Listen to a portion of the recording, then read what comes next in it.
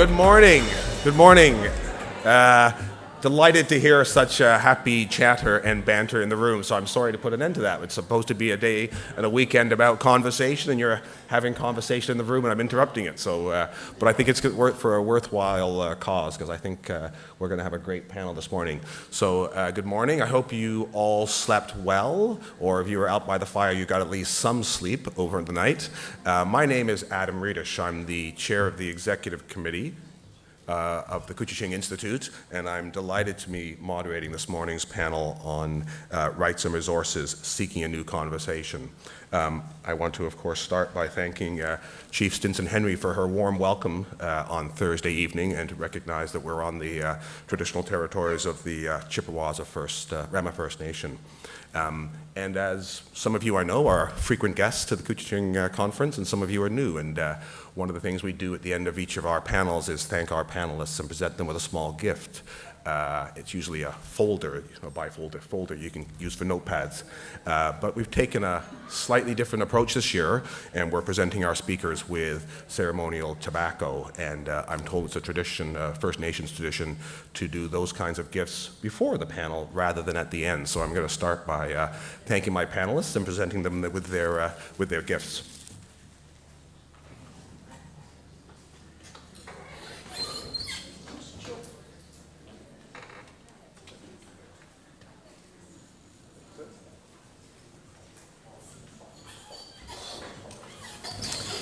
Before I, uh, before I introduce our distinguished panelists, I, uh, I do have a few housekeeping uh, notes, a number of housekeeping notes. Uh, so let me start by uh, noting that, uh, as others have done, that if you could please tweet or Twitter. Is there an echo? Does this sound okay? Yeah, okay, I hear an echo.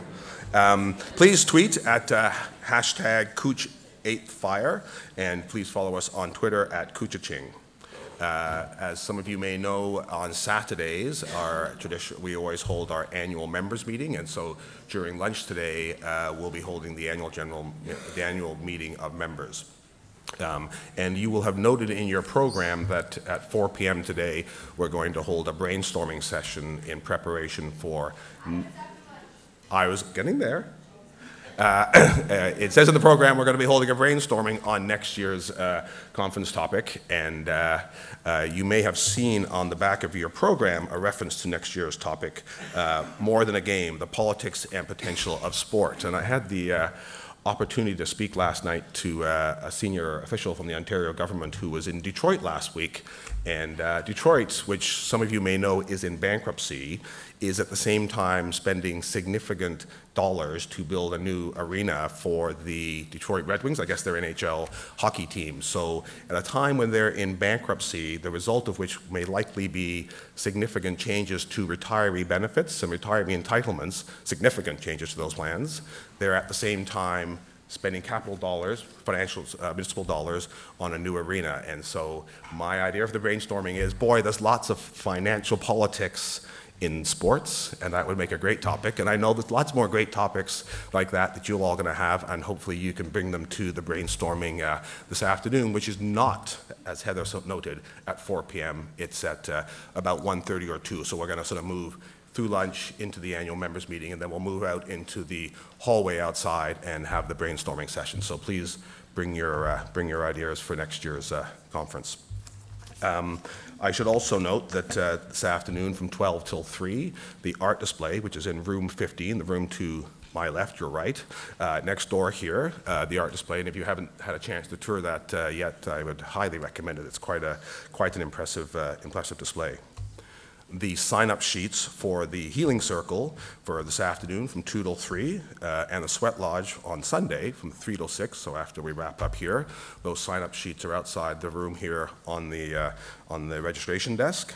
Uh, and also out there are the two uh, silent auction prints by uh, Aaron Perk Paquette, sorry, one of which is the, uh, the ice entry, another one the transformation, and they're, they're quite impressive pieces of art, and so hopefully you'll have a chance to make a bid on those. And the bidding closes at 5 p.m. sharp this afternoon, so don't forget to do that uh, as you're heading back over to lunch. And uh, also, uh, as some people may leave over the, uh, the conference uh, this afternoon or this evening and not be able to stay for tomorrow, there are evaluation sheets uh, on the uh, registration desk outside the room. So please take the opportunity to provide us your feedback. We're always interested in how we can make a, a better conference and a better process, and so we always appreciate, appreciate your feedback. okay. okay. And still, before we introduce our speakers, um, just the ground rules. I know most of you have been here for a couple of days now and you know the basic framing of the conference process. And so our panelists will speak for about 20 minutes each. I got my handy dandy time cards to keep them in line on time, and they've agreed to stick to their 20 minutes. We'll then take our customary uh, 10 or 15 minute break, and then we'll have the microphone for uh, questions and answers from you, our distinguished audiences. And as I've got my uh, panelists to uh, stick to their timelines, I know that you'll also stick to the timelines and questions, and you'll keep them focused and short and focus on the questions so that we can get an opportunity for as many people as possible to, uh, to ask questions. And just before I turn, actually introduce the panelists, I just wanted to make a couple of introductory comments to sort of frame a bit of our uh, discussion this morning. And I want to sort of go back to parts of that really, really great conversation between Phil Fontaine and Paul Martin uh, yesterday morning. And uh, I think it was Phil who was talking about the incredible uh, resource wealth of this country. Uh, he was talking about oil and gas and forestry and water, and he sort of threw out a valuation of 600 to uh, 800 billion dollars, I think it was, which actually struck me as a pretty lower number than I would expect. But I think it reflects the uh, tremendous, not only as I say, the sort of tremendous resource wealth of this country and the importance of that from an economic perspective, but also they touched upon uh, the issues of the tie of uh, many First Nations peoples to the land and the connection between resource development and traditional uh, treaty rights and inherent rights around, uh, around land. And so the intersection of uh, resource development and economic issues and land and environmental issues, uh, I think make this topic particularly, particularly rich, rich and uh, if you think about things like the Ring of Fire in Northern Ontario, oil sands development in uh, Fort McMurray, the pipeline discussions that were, in fact, in the, in the National Post yesterday morning, but the pipeline discussions that have been so much in the media of late, uh, clearly to me say that uh, resource development issues are a key element uh, and a key discussion topic for Canada for First Nations and as part of the relationship between uh, First Nations and Canada. And so uh, we couldn't have a better panel to uh, talk to us about those topics. And so I'm delighted to take us up a moment to introduce our panelists. Um, and I'm going to introduce them in order in which they'll be coming up. So our first speaker is Ian Anderson. Ian is the uh, president of Kinder Morgan Canada, a position he's held since 2005. Before joining Kinder Morgan, Ian held senior executive positions in finance, regulatory affairs, administration, and business development at companies that included Terasen, Centragas, and Westcoast Energy. Ian's also the past chair and board member of the Canadian Energy Pipeline Association, is a certified management accountant and a graduate of the University of Michigan uh, Executive Development Program, and you'll see his full bio in your booklet, as you will also for our other speakers. Our second speaker will be Glenn Nolan. Glenn is Vice President, Aboriginal Affairs for Noront Resources, a mining company, excuse me, a mining company that's developing nickel and copper deposits in Ontario's Ring of Fire region. Glenn is a leading advocate for promoting community engagement and strengthening the relationship between Aboriginal communities and the mineral industry, and is president of the largest mineral association, uh, the Prospectors and Developers Association of Canada. Previously, Glenn was the elected chief of the Missinaibi Cree First Nation in Northern Ontario, where he strove to promote community, promote community and business development by focusing on strong fiscal and human resources management. And our third speaker is Caleb Behn. Caleb is an Ekodene, Ekodene Dunne-za Cree from the Treaty 8 territory in northeastern British Columbia.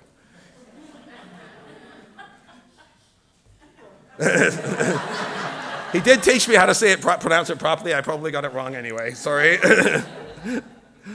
um, Caleb recently completed his Juris Doctor degree and was one of the first University of Victoria law students to be granted the concentration in environmental law and sustainability. Caleb is also the subject of a documentary film focused on the impact of hydraulic fracturing, or fracking as you may know it as, and unconventional gas development in Canada and Aotearoa in New Zealand. And I think actually before he starts, Caleb's going to show a couple of minutes of a clip from the, uh, from the film to help frame his comments. So with that, no further ado, I will pass the podium to Mr. Anderson.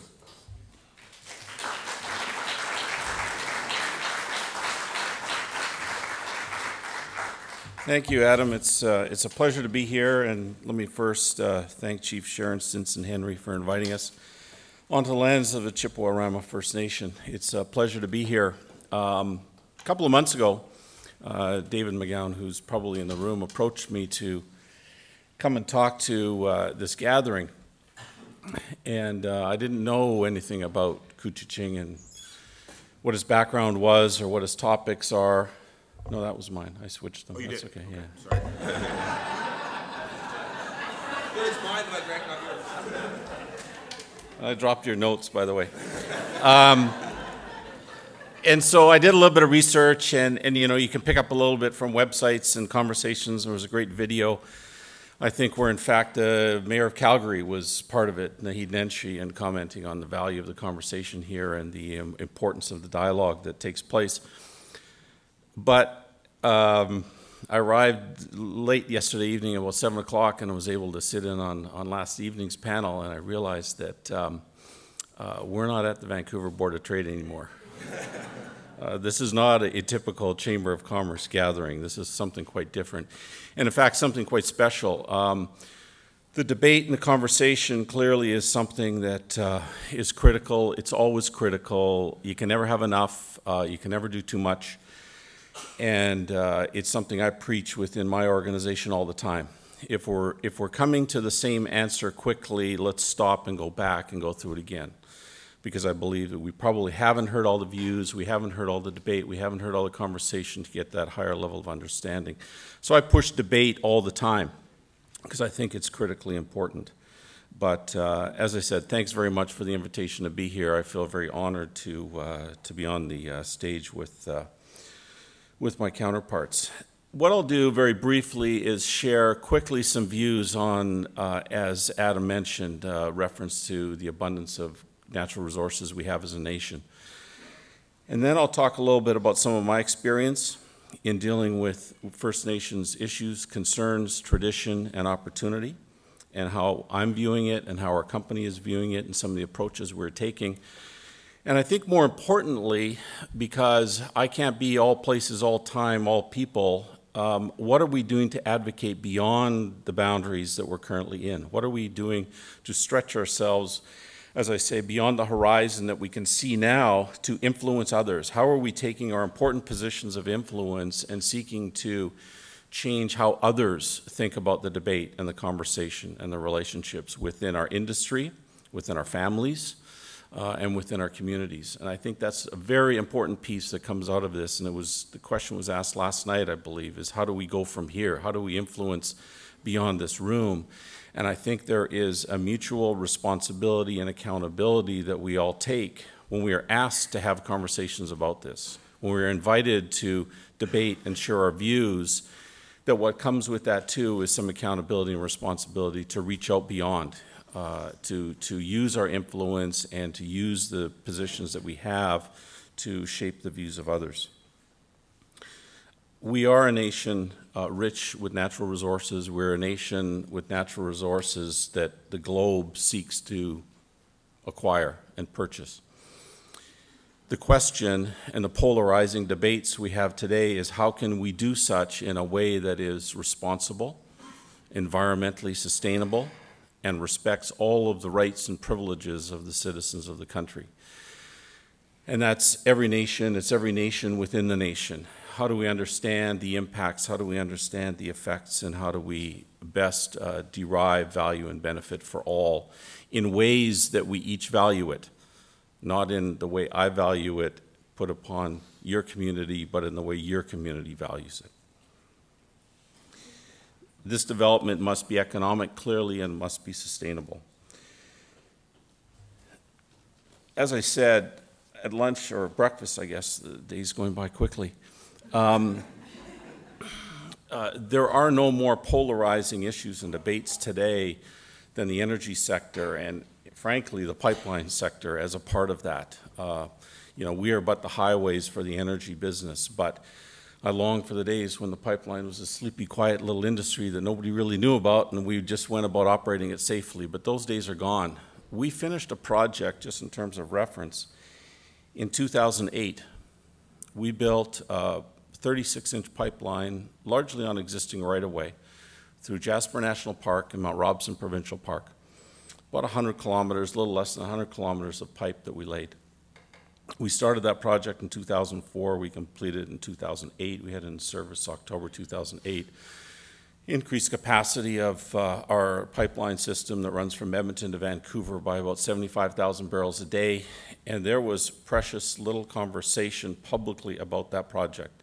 There was no public debate. There was no headlines. There were no protests. There were no uh, um, uh, rampant media coverage. It doesn't mean to say we didn't do things. It does, didn't mean to say that we didn't deal with the Foothills Ojibwe and the Simpcw and the uh, other, other communities and bands that were affected by our project, but it had nowhere near the profile, and that was five years ago. That's not that long ago. And now I'm on the cusp of, of undertaking a project that um, will continue to expand the capacity of that line between Edmonton and Vancouver. And we started this effort about three years ago now, and I had no idea. I had no idea of the debate, the controversy, and the issues we're going to face.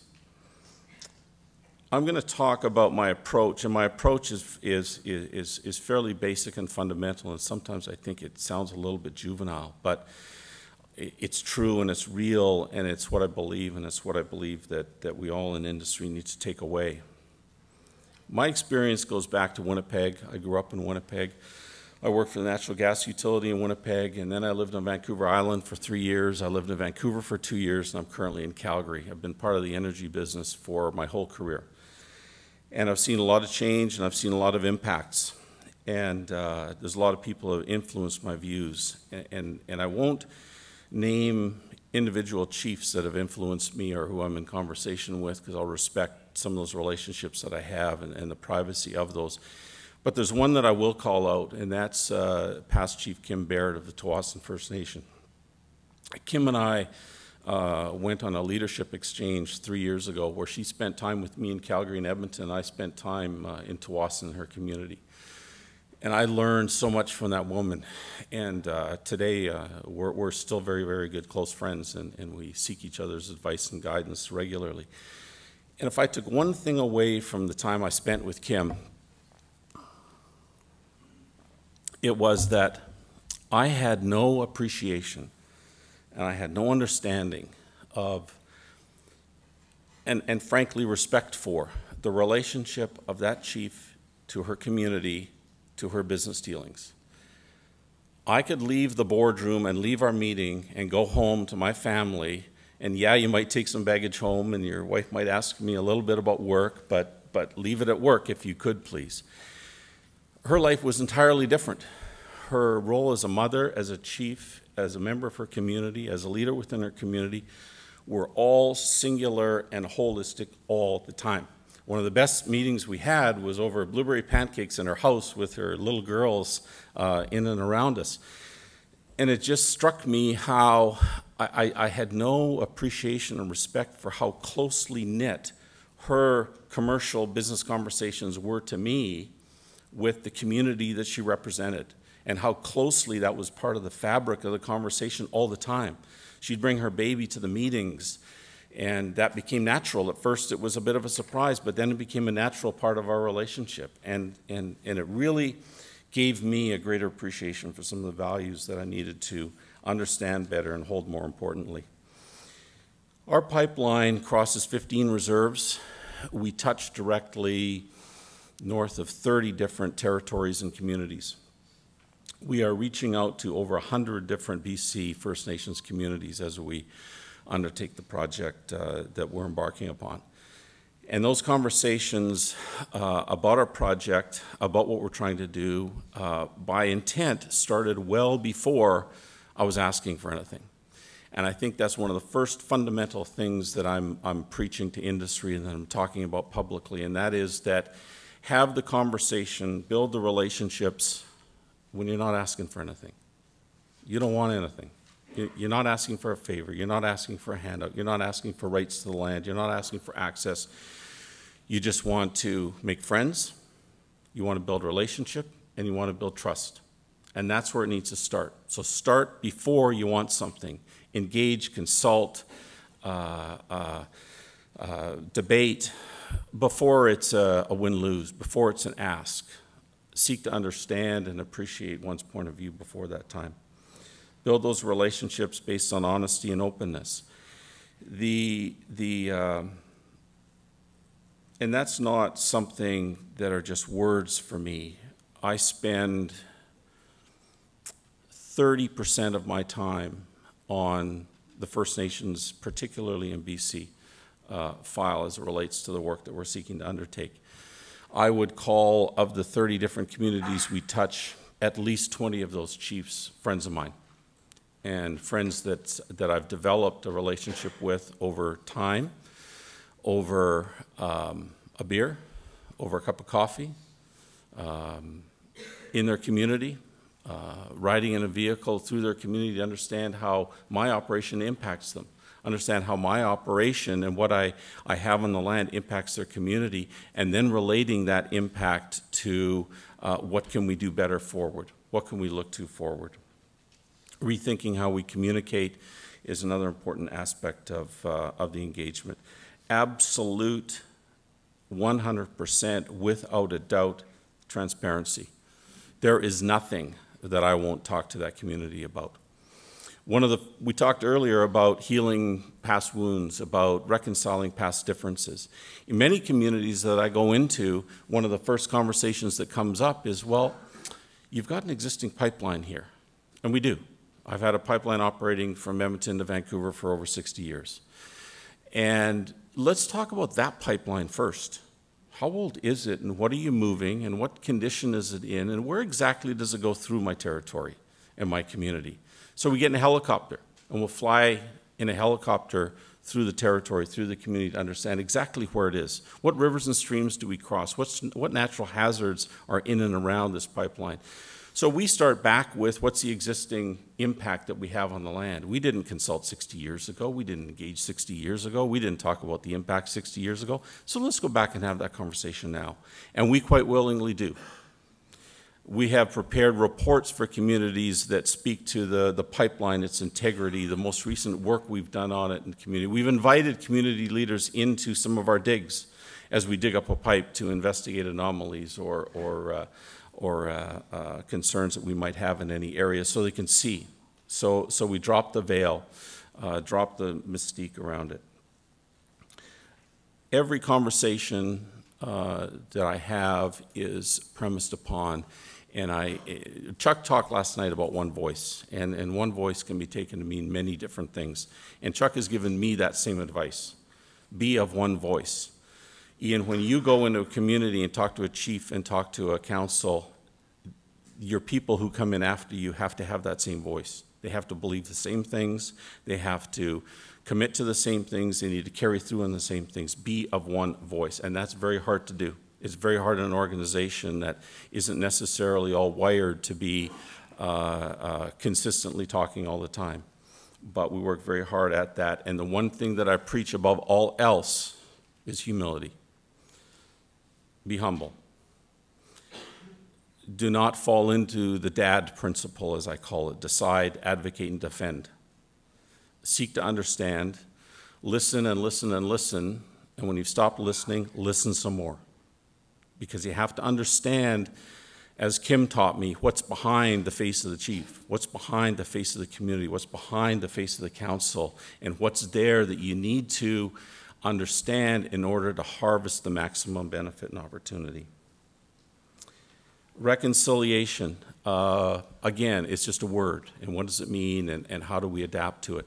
Well, reconciliation for me has been going back to why the pipeline's there in the first place, why, are, why we operate the way we do in the first place. What is it that we're doing? What value are we creating mutually?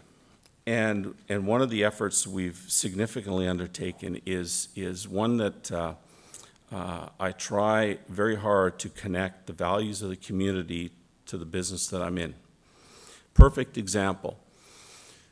And, and, and we're pursuing it with vigor. We had a very minor uh, oil leak, and, and no oil leak is, is, is minor or insignificant by any stretch, but in terms of quantity, it wasn't very big, and we found it and we fixed it, and it was just south of Merritt, BC.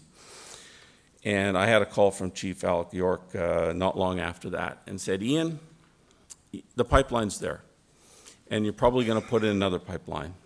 And uh, uh, we have a respectful relationship. I want to talk about how you respond to things. I want to talk about the risks. I want to talk about how you manage them and how we together can help mitigate them.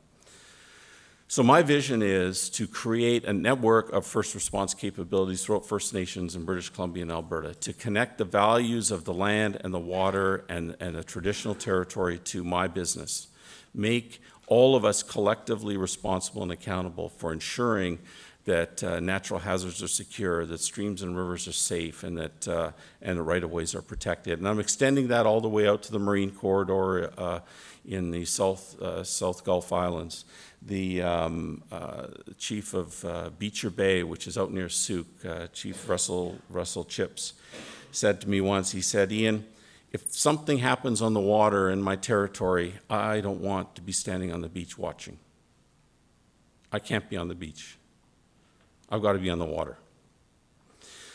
So we're going to work with them to establish a marine response capability within their community, and that will build capacity, and I'll come back to that word and what it means to me, uh, not just for incident response, but for uh, mammal protection, for search and rescue, for any kind of response that's required on, on water.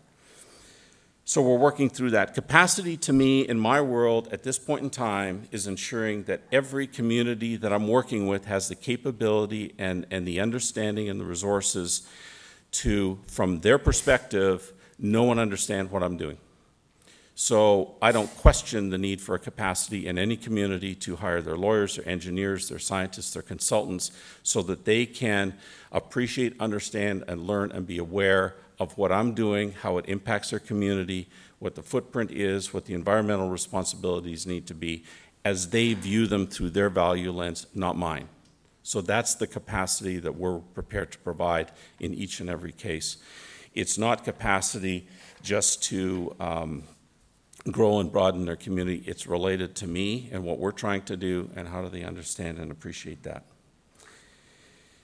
The only other piece of advice, and, and uh, one of the dangers in coming early last night and hearing the panel last night, is it dramatically changed my speech. I realized there was things I was going to talk about that this group didn't need to hear uh, that you already knew. But, but one of the things I try and emphasize in, in every engagement that I have is with First Nations communities and chiefs is help me attach the relevance, the importance between your values and your needs and your desires to what I can do. Let's build that connection between what economic and commercial aspirations do I have with what traditional rights and, and values and appreciation you have, and where do those two intersect? And where do those two intersect in the terms of opportunity? I talked about response capability. I talk about natural hazard preservation. I talk about um, uh, work uh, in and around pipeline operations. And, and I need to understand those things better as we go forward. Uh, the other piece of advice I have for First Nations communities is while you, none of you two are the same, none of we two are the same. Every pipeline company is different. Every energy company is different. Uh, we all play a different role in the sector and in the value chain. And I'm going to respect that each one of you are unique, and you need to respect that each one of us are unique. So look at us independently, not collectively. When we go into communities and talk to First Nations leaders and chiefs and councils, uh, I don't go in with a template. I don't go in with the lawyer. I don't go in with a format of here's the boxes I need to tick, here's the agreements we enter into, here's the next stage in the process, and here's where we're going to go.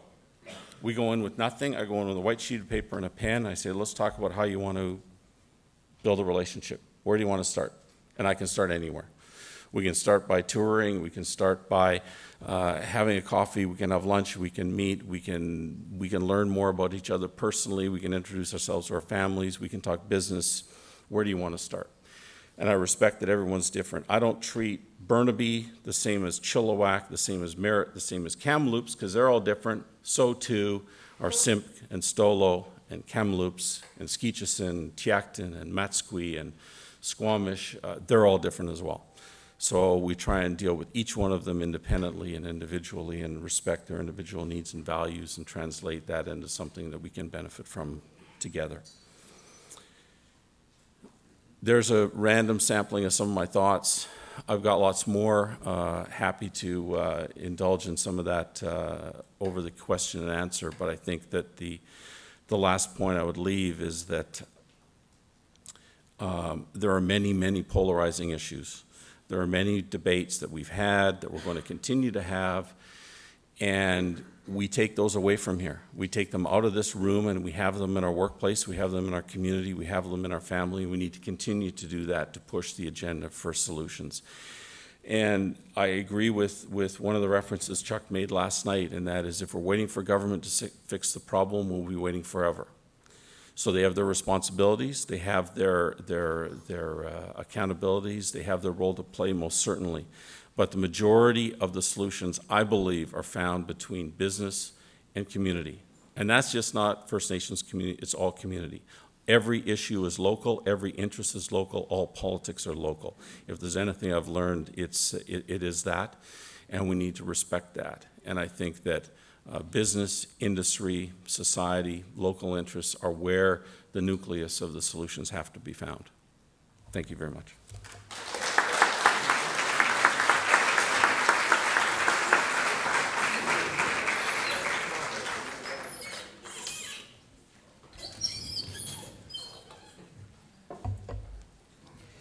Well, good morning, everyone. Thank you.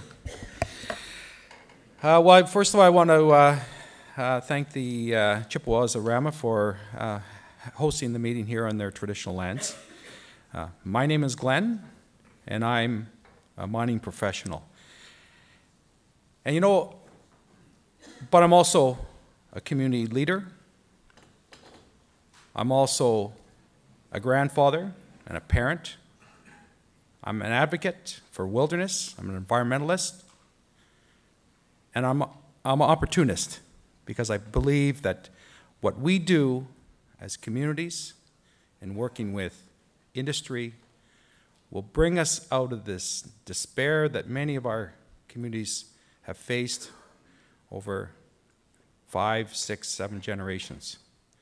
And we have to do it differently, and I think we heard that a few times. I think Chuck said that very well yesterday. That we're doing the same thing over and over and over again.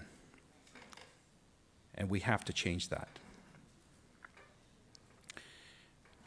I'm going to, first of all, I also want to welcome elders that are here today in respect for the wisdom that you carry and that uh, you have uh, willingly shared with your family and with your communities.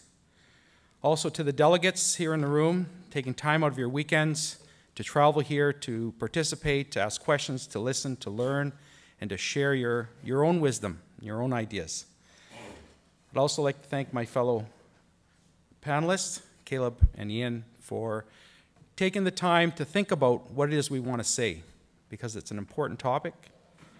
It's important today as it was 100 years ago, 200 years ago, but we're here today. I'd like to start off and just talk a little bit about my personal history and where, how I've traveled through my years to get to where I am today. And it's not because I'm unique or my family's unique, it's because in my history, my ancestors were miners, as well as trappers, as well as hunters, as well as gatherers. We did all those things. Believe it or not, we mined copper. We quarried rocks so that we could form and shape tools to make our lives of our, our families better, to hunt those animals that we needed, to net the fish. We needed those tools, and we utilized the natural resources that were around us to do it. Something happened, though, where we stopped becoming partners with the newcomers that came to North America. Something happened that said, we were not capable of continuing on a equal partnership. And in my view, as a former leader of my community, it was the Indian Act. The Indian Act has destroyed us. It has destroyed our incentive to do, to look after ourselves, look after our own families. We become dependent. And I don't want to be dependent on anyone, and I've never been dependent. And I think there's many people across this nation, First Nations, Aboriginal, and, not, and obviously the, the general society, that are not dependent, that have sought their own path to create their own wealth, create their own opportunities. And that's what we want to do into the future. I was raised in the bush. We had nothing other than the wilderness in our back door.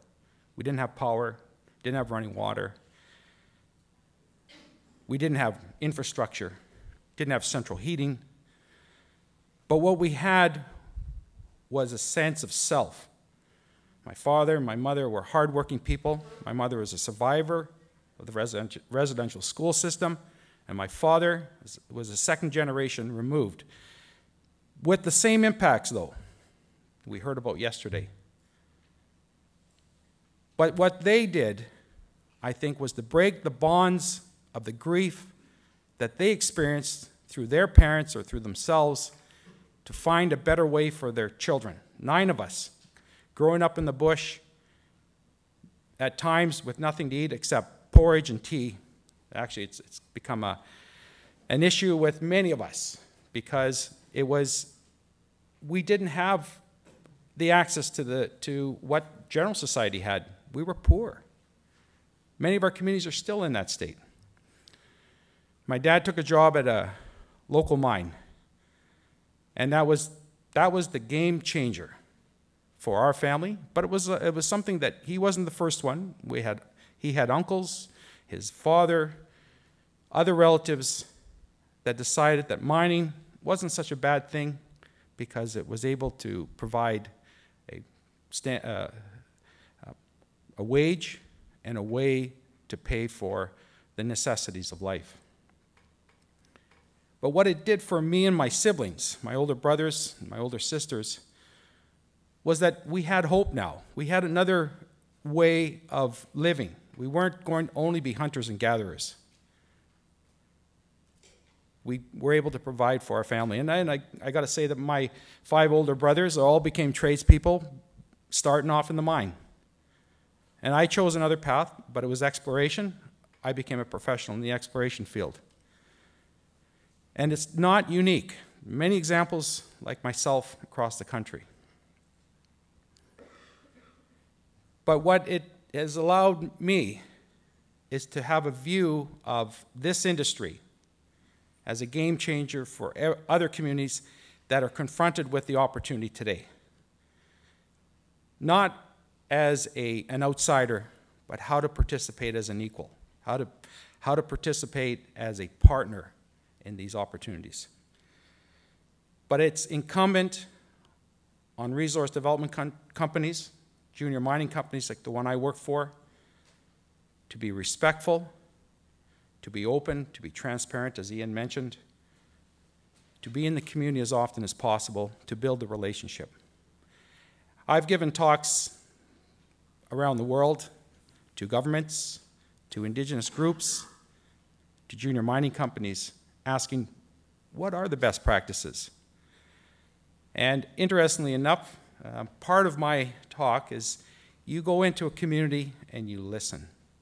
The first thing you do is listen. You tape your mouth shut and you listen. If it takes four or five visits before the community is ready to listen to your story, then you talk, talk about your story. But it's important that you understand their story. There's too many times when companies, in their haste, because they have an agenda, will go in and start talking about their, their project. And I really liked what Ian had to say that it's not about selling something, it's about learning. And that's the second point. After we listen to the communities, because you're going to hear their grievance with the government, you're going to hear their grievance with other companies that have been in their territory, whether it's forestry, energy, or other mining companies and how they've done harm or how they've neglected them or how they disrespected them and how they've left nothing behind, maybe left garbage behind, left damaged land behind. So we listen to them. Eventually they'll come around and say, What is it that you're, why are you here? And there's the opportunity. There's the door that's open, and that's being respectful. From listening, you learn. You learn how to work with that community. The company I work for, Noront, we had a great plan. We are going to build a mine. We're going to build uh, the infrastructure on the surface. We're in a very, very wet uh, environment, third largest wetland in the world. We're part of is in our project in Northern Ontario. Community said we have concerns with the footprint. So we looked at that. We went back to our engineers and said, what can we do to change this? The community said they don't like the idea that we're going to cover up X number of hectares uh, with, with uh, gravel and uh, build infrastructure, our mill, our concentrator, and uh, our separator, and our uh, offices, and so on. What, what can we do? And uh, my boss said, Well, why aren't we building underground? Why don't we put as much as we can underground? So that was the first community driven concern that we listened to, that we changed our project. The second one was that we were going to have a pipeline. We're not a pipeline company, but we know that other companies around the world have used pipelines to move the slurry of a concentrate from the concentrator mill to an offloading facility to load onto trucks to transport to a facility to smelt. We had about 80 kilometers to cover through wetland. We figured they don't want us to build on the surface. We could do the same thing. We can put everything underground. Nobody's going to see anything. It's out of sight, out of mind. We, we presented that to the community. They said, we don't know what's going on underground. We, we want it on the surface, but we don't want a pipeline because we don't know what a pipeline is. But we understand a road, so you can put a road in. So they've told us. So we changed our plan again to reflect that, the community's wish. The other concerns the community said, we want training. We want to be part of this, but our members are not educated to, be, to work in the, in the best paying jobs. We don't want to just be at the, the janitors or the cleaners or the laborers.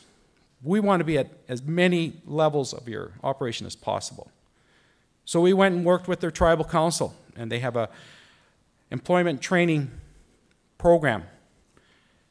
So we went and worked with them. We formed the partnership, and it was just announced on Wednesday in, or Thursday in Thunder Bay.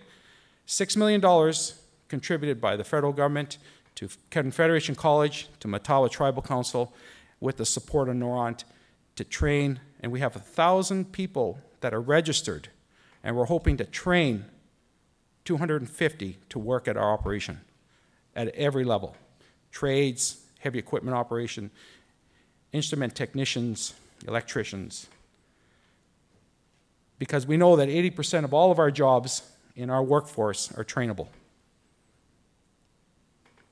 The other 20% are professionals, engineers, and geologists, and uh, chartered accountants. Not excluding them from the opportunities, but it takes longer to get there. We know that today in Canada, there are over 200 signed agreements enforceable legal agreements between communities and resource development com companies in the mining sector. Everything from memorandums of understanding, initial stage agreements or discussions about working together, to impact benefit agreements where a mine is going into production or is in production. Those cover a whole range of topics, but generally they cover training, business opportunities, um, protection of the environment, monitoring by local communities, uh, some sort of uh, community uh, support through their programs uh, that the government doesn't cover, and, and also a say in the overall project. Uh, meetings uh, through monthly or, or bi monthly sessions. We know as well that 8% of the workforce in the mining sector in Canada today are Aboriginal people. That amounts to about 30,000 First Nation, Inuit, and Métis people working in our industry today. Everything from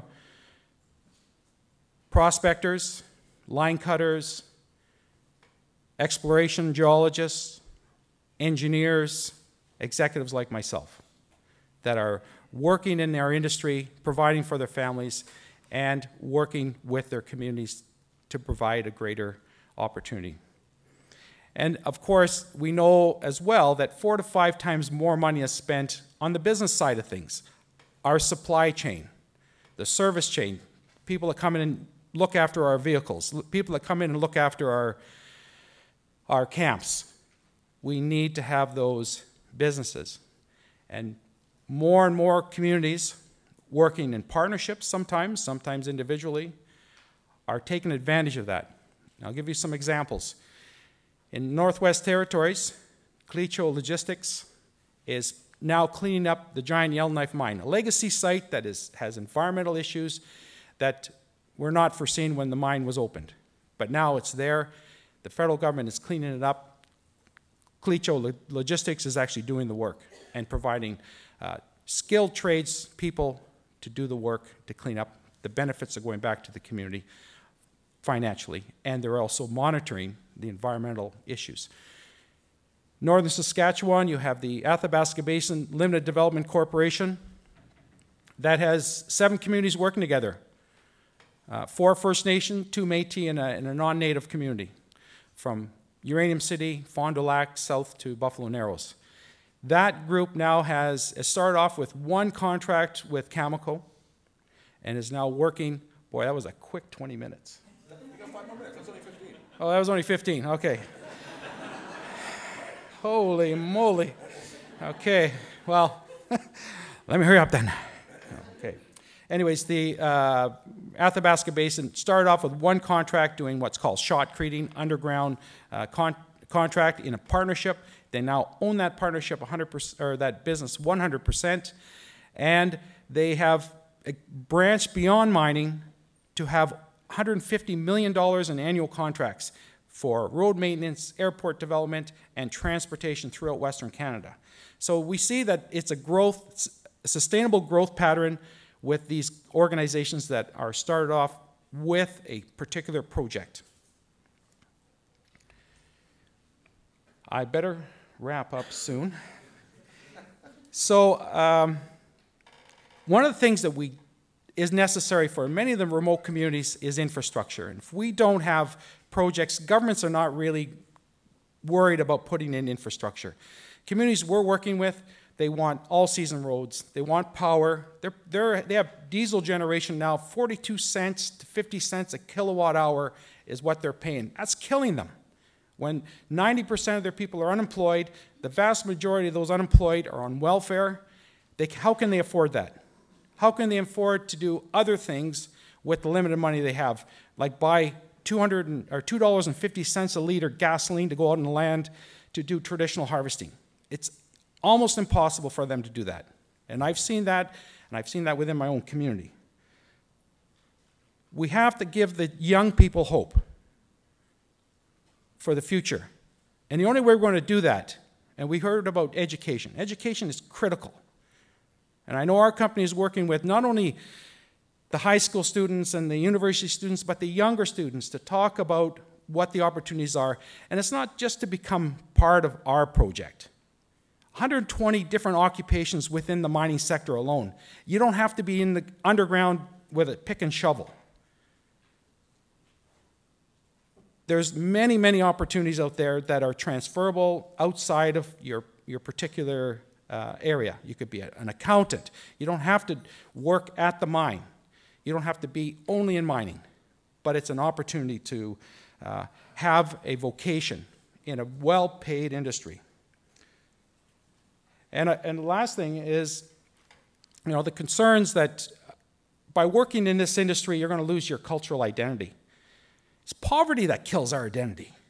Poverty that forces us off the land to either move to a urban center without the recourse of going back to our land to do the traditional activities that sustain who we are.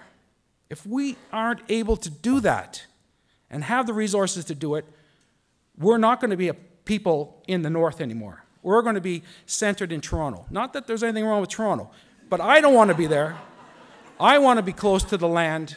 I want to be able to go and canoe. I want to teach my grandchildren how to make a fire and what medicine plants are out there for them to harvest. And uh, uh, there was a mention about uh, um, in, in the program about environmental groups. Well, our company has taken the approach that environmental groups help direct us towards a positive approach to protecting the environment. And we have a relationship with Wildlands League here in Ontario that have provided us with direction on best practices, but it's also provide us with a sounding board. We'll go to them with an idea, and they'll say, Well, I don't know if that'll work, but let's talk about it and, and massage it a bit. So I think the last thing I, I want to leave you with is that, you know, our industry is necessary. We live in a society today that demands smartphones. All of you came here with a vehicle or somehow. You didn't walk here, you didn't paddle here. If you are involved in this society, then you've accepted mining as a condition of that living here in this society. Let's do it right, let's do it responsibly, and let's work with the communities that are most affected. Miigwech.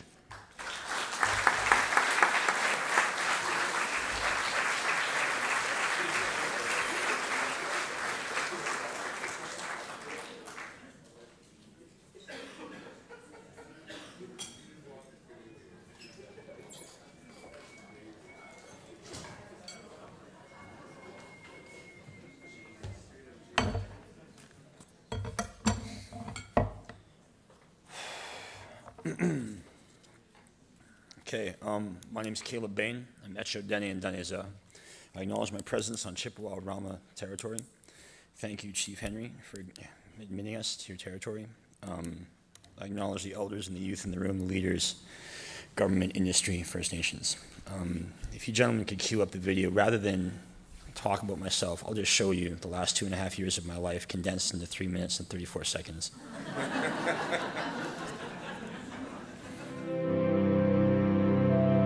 my daughter and her husband brought him home. And then Grandpa was holding him and he said, You're going to be a great hunter, boy. Anybody who can throw a hatchet and sue you is a force to be reckoned with. If you're going to fight with tools, get the best tools you can.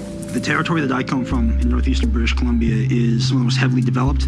First, they came for the trees, they came for the gold, they came for the fur, they came for the children, they came for the oil, they came for the gas. Then they started taking the water, and they're using the water to fracture the bones of Mother Earth.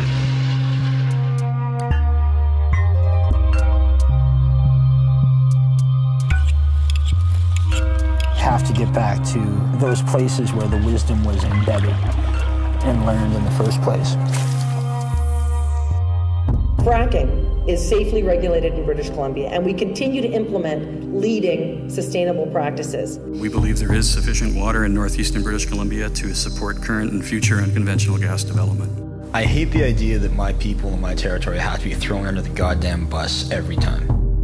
We have much more abundant resources of gas than we had ever fathomed. My territory produces a lot of the gas and condensate for the tar sands. We've gotten to the point where, in our desperate need for hydrocarbons, we actually, by definition, inject poisons into the earth. Almost every house, at least every other house, has probably had someone with cancer. There are fires I passed on the Alaska Highway that burned every single day of my life. Kids, when they get exposed to chemicals, you know, I have a birth defect, 18 surgeries, 7 plates, 20 screws in my face. We have this perceived enemy outside, but our fight is not with that enemy. Our fight is a psychological fight.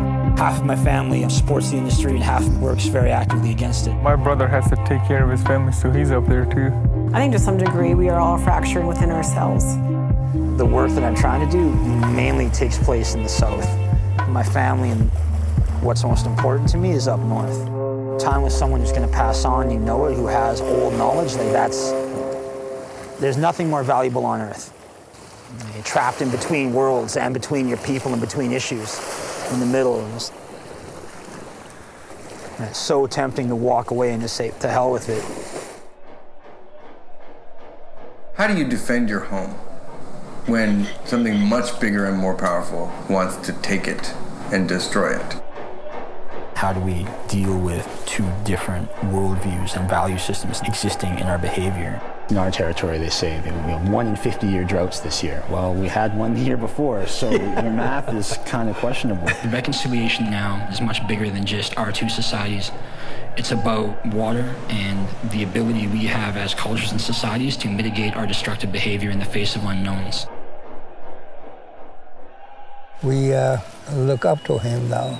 What Grandpa said was, You make me feel free to take the journey to the next world, knowing that his legacy and our people are in good hands. Born indigenous in this country is a political act, a defiant political act. I want to be the tip of the spear, at least a part of it.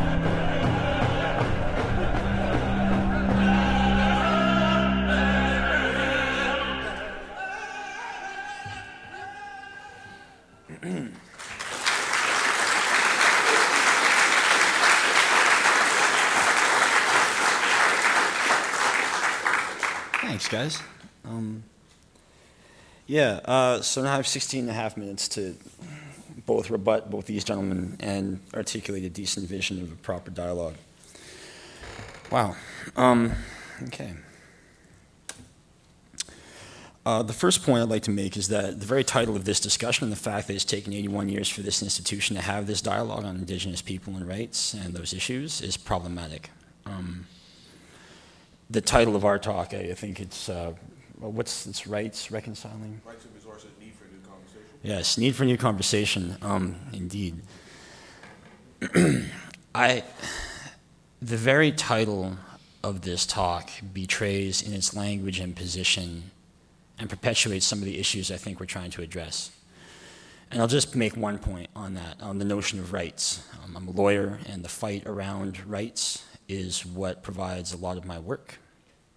But I don't have rights. You know, I, I, there's in the Indian Act, there's you know this, this position, and then in the case law, there's this articulation of rights and accommodation and consultation, all that flows out of it. But I, don't have them. Um, I have responsibilities, and in my opinion, the first point I'd like to make is that if we are going to have a new dialogue, I would like to see all parties, First Nations and non, ditch this notion of rights, because quite frankly, that's an entitled colonial position. I, my people never had rights. We had responsibilities over the land.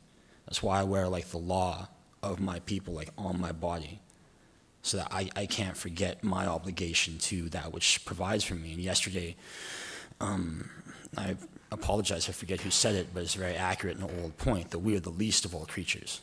You know, we, we, we survive off of all other things. For me, the moose are what build and provide for our people. And so it is out of the goodness of all other things that we're allowed to live. So the notion of us having rights is ridiculous. In addition, rights and the rights-based construct, both in law and in our own minds, is anthropocentric. And if you want to have a new discourse with indigenous people and you want to navigate and manage indigenous issues, I think that the notion of anthropocentrism, the notion that humans are the only focus, is problematic. You know, these gentlemen, of course, made much reference to jobs and um, the necessity of the industry in various points, and I'll, I'll respond to those characterizations in a moment. But the fixation upon us as humans as if we are the only significant point of analysis emaciates the dialogue and debate and discussion that you might have. And so I encourage all of you guys, you know, in whatever context you work, be it industry or government or whatever, that that whole notion of anthropocentrism and rights is problematic. First point. um, second point. Uh, and this is the point about dialogue and why dialogue is needed. My, in my opinion, the dialogue that we refer to, and, and in particular the dialogue in law, um, much like Professor Poitras, who gave me my worst mark ever in law school, and as she said yesterday, I earned every one, all 55%. Uh, oh, you laugh now. That was scary. Um, that was like my first year. Um, The construct around Indigenous people, the card in my pocket with 54300554701, that, that card that tells me what I am, that card that follows me from birth till death and even afterwards and before, um, is a construct. And it's a construct built and predicated upon a model of resource exploitation. And we've talked a lot about the Truth and Reconciliation Commission. We've talked a lot about violence against women. In particular, I'd like to acknowledge the women in the room.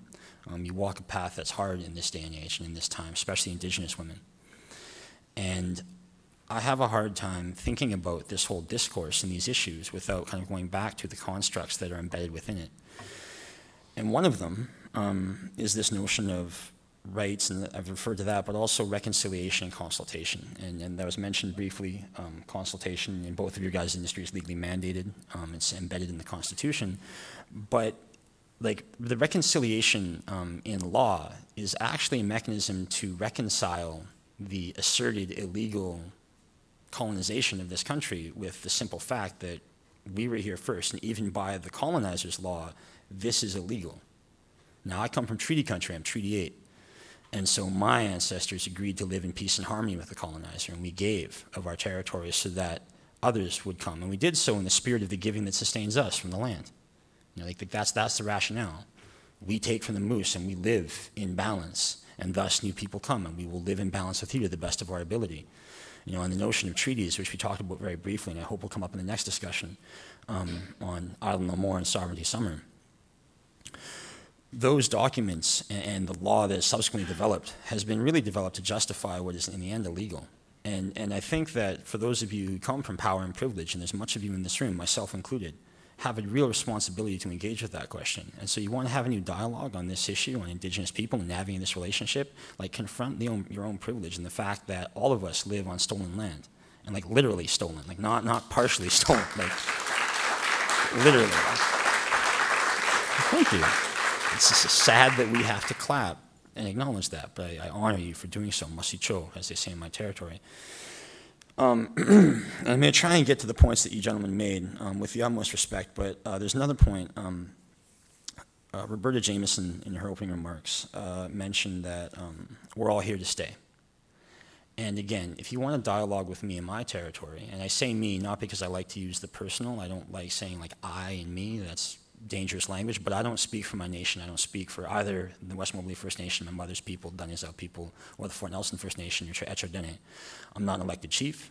I'm just a simple man, period. So that's why I use the I so much. But if you want to come into my territory, my people's territory, um, ditch that notion that we're all here to stay. You know, I know, I know where it's from. I think it's paragraph 287 in Delgamuukw.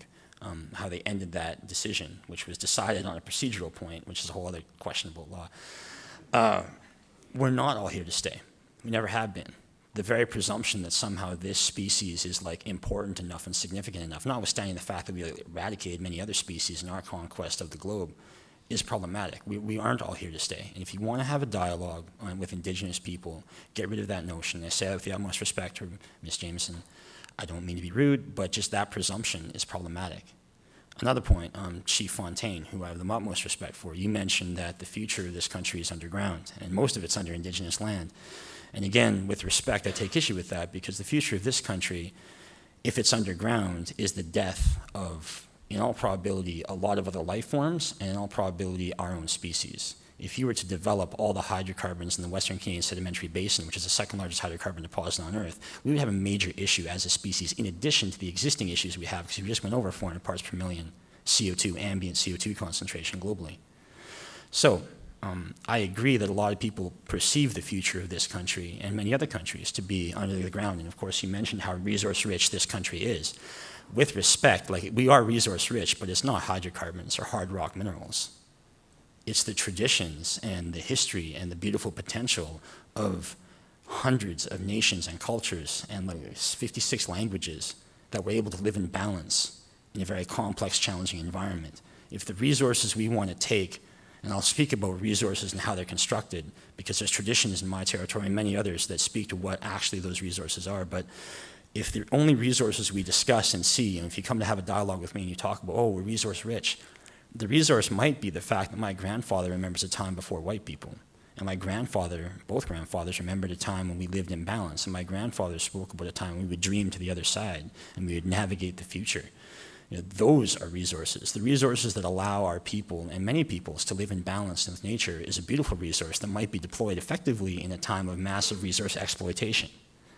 So again, the notion of what a resource might be um, needs to be um, modified. And I don't, I don't mean to attack you, but it's just it's a phrase. You know, 650, 680 billion dollars worth of development. Yeah, that's that's a big impetus to, to develop, but that's not the only resource that's relevant. So if you want to change this dialogue, I think you have to reconceptualize what, what what's the predicate behind this dialogue, and it's not resource exploitation, at least not in the common sense. I think the resources are most important to consider the resources up here and in here, um, and not just what's down there. Next point. um, well, actually, I'm, I'm going to finish that, actually. Um, in my territory, in the Dunne-za tradition, uh, they prophesied the coming of the white people, and they actually prophesied the oil and gas industry. This long before colonization. You know, this, the, um, the last dreamer of the Dunne-za tradition is a guy named Charlie Yahey who died in 1976. Now, this little piece of the story that I'm going to tell you was recorded in 1968, but it comes from um, a dreamer, so a prophet in my territory from, I mean, three, 400 years previous. Um, and so Yamatea, who's like the, the, the, being who sorted out the world, he, um, in, in, as humans started, there was giant animals all over the earth. And what Yamatea did was he, he dealt with the animals and he put them underground. And this dreamer told us that in time, a different kind of people would come.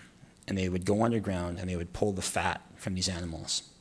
And the problem is that when you do that, you're taking something that was in balance and that was set properly, and you're bringing imbalance to it they prophesied the coming of the white people who would take the fat from the land and they would go down and they would pull it out and they said imbalance would follow. Hundreds of years previous. Second prophecy, so that's one side of my family, that's the Dunne-za side. On the Dene side, the Dene hands, some, there's some people who have been to Dene country. In Great Bear Lake, one of the largest freshwater bodies on earth, there's the Dene water heart. Now this is a prophecy that goes back, like they figure 270 years, but it's uncertain um, there was a medicine man who went and, and he lost a fish hook. In the old days, when fish hooks were made, like traditionally, that's a big deal. So he went and changed forms because they're shapeshifters up there and went down and um, went to find this fish hook in this lake. And he found instead, um, sorry, what's my time, Ishik? Five? Six. Oh, Jesus. All right. Um, yeah. So he goes down and um, he finds instead uh, this this beating heart surrounded by fish. It's being protected by all these beings under the water. And what it was is the beating heart of all waters, and it's what gives water its life giving ability. Now, water is the key operational input for unconventional energy. Hydraulic fracturing, massively water intensive. Steam assisted gravity drainage, massively water intensive. Like, like water is critical to the tar sands, water is critical to hydraulic fracturing, water is critical to hydroelectric development. And of course, Chief Fontaine mentioned water as a critical nexus point. Um, and, and the new, the new future. In my territory, what's prophesied is the war. There'll be a great war, and the last clean water on earth will be in the far north of Canada. And that's where all the people of the world will come when everything changes and the water is no longer pure, because that's where the last bit of pure water will be, because that's where the water heart was. That's where the clean water was always meant to be, because that's where the pure life giving force that in, in, is imbued in all water resides. Now that's interesting because, um, Mr. Anderson, your pipelines um, reach more and more and more closer there because there's unconventional energy now proposed in the Sahtu. And so I don't mean to suggest that like you're going after the water heart necessarily, but I mean one, pipelines can carry more than just oil or gas. Two, um, pipelines, much like the roads you mentioned, Mr. Nolan, are the access points for other things, and it's always been that way. You know, in our territory, it was the um, the discovery of gold in 1898 in the Klondike, and then the consequent rush of settlers and rush of colonizers and rush of miners through our territory that caused the government to sign the 1899 Treaty Number 8. My family adhered in 1914. And so the process by which we develop and the process by which we engage has to understand these things. And I really feel it's difficult for me to even begin to characterize what I'd like to on this issue. And i will do my best to finish it in three minutes. oh my God. Um,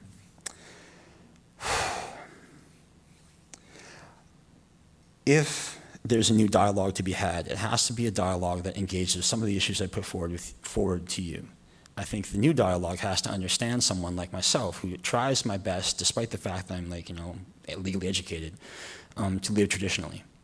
And I've shared with you two stories in the spirit of that. And one of the things that we've done up here is we've actually modeled this relationship. So the two gentlemen who have lots of resources, and Kinder Morgan, of course, lots of resources, PDAC, one of the largest, the largest mineral development association on earth, um, they didn't have media with them, but I brought media. I had the slick commercial to start it all off. yeah, and, and, and so this is an inversion of the typical relationship, and, and that was done intentionally. Um, the intent here was to actually invert that, and that's why I wanted to go last, and that's why I made them play an HD clip three and a half minutes long to start. This is the inversion of the typical relationship. Typically, the dialogue that we refer to is massively disempowering. I'm not sure if you guys have ever researched regulatory capture, the implications of people like the Canadian Association of Petroleum Producers, whose members make $100 billion annually. But what do they do to a regulatory environment, and what does that do to things like the Supreme Court of Canada, or the BC Court of Appeal, or um, the Environmental Appeal Board of British Columbia? You know, what do these entities do? And what's the implications for the quote-unquote dialogue that we have? So um, I think I'm going to end with this because I have a lot more to say, but I, I do need questions. Um, generally, I wouldn't appear on this stage. Um, my grandfather's dying of cancer, uh, uh, which is kind of briefly mentioned, the man up there, uh, Chief George Behn.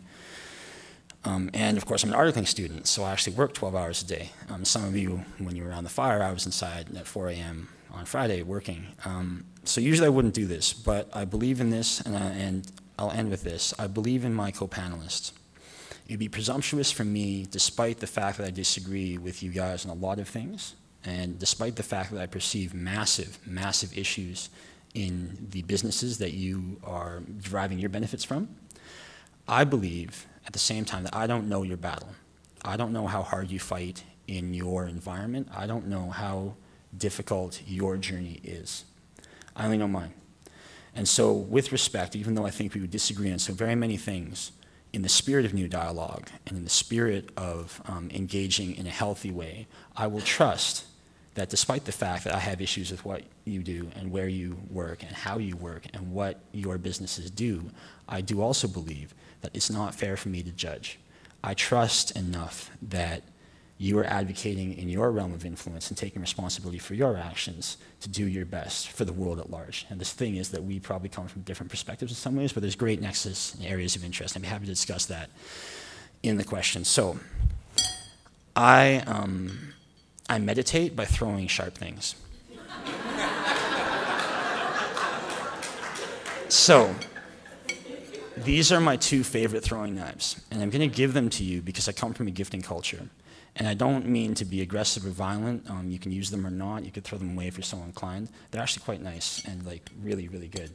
Um, but, but I give them to you so that you might find peace in your journey.